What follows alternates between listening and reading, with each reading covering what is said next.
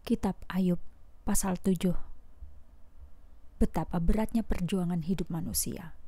Hidupnya lama dan penuh kesukaran seperti hidup seorang budak. Seperti seorang pelayan yang sangat merindukan berakhirnya hari.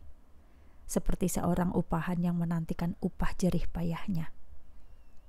Juga padaku telah diberikan bulan-bulan yang mematahkan semangat dan malam-malam yang panjang serta penuh penderitaan Bila aku hendak tidur, aku berpikir, apakah masih ada hari esok bagiku?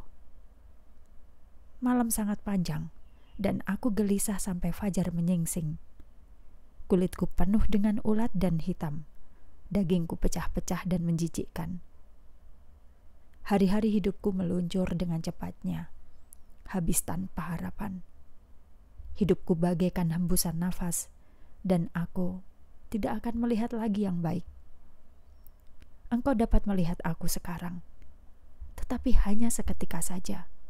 Sementara matamu memandang aku, aku telah tiada.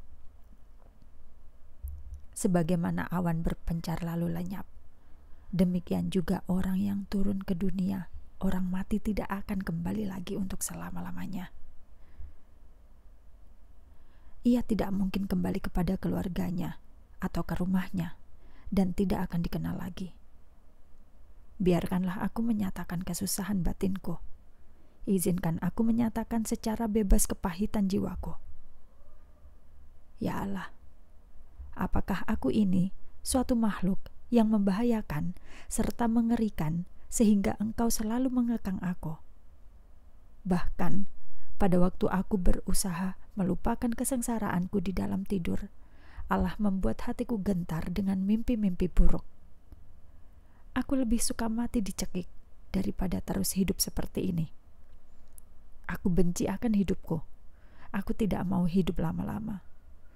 Janganlah mengganggu aku. Biarlah aku seorang diri menikmati sisa hidupku yang pendek ini. Apakah sesungguhnya manusia sehingga engkau meninggikan dia dan sangat memperhatikan dia? Apakah yang menyebabkan engkau mengingatnya setiap pagi serta mengujinya setiap saat?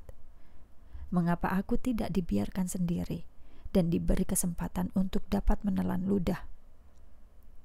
Apakah dosaku terhadap engkau ya Allah, penjaga umat manusia?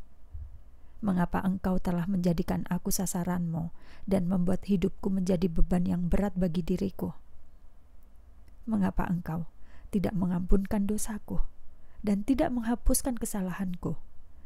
Karena tidak lama lagi aku akan mati, terbaring di dalam tanah. Dan bila engkau mencari aku, aku telah hilang lenyap.